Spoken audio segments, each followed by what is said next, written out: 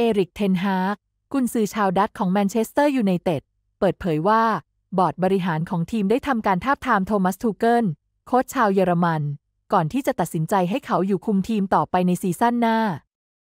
อดีตเทรนเนอร์ของอาแจกซ์อัมสเตอร์ดัมกล่าวว่า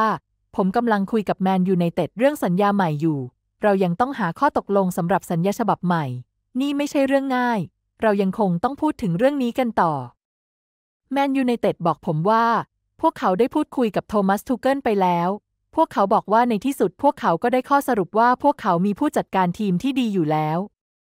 นับตั้งแต่ที่เทนฮากอำลาอาแจกซ์มาทำงานกับแมนยูไนเต็ดเมื่อปี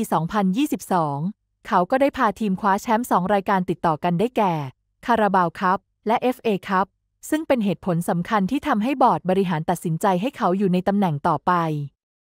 ปัจจุบันเทนฮากมีสัญญากับแมนยูไนเต็ดจนถึงปี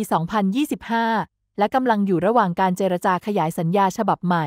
เพื่อให้เขาได้ทำงานกับทีมต่อไปในระยะยาว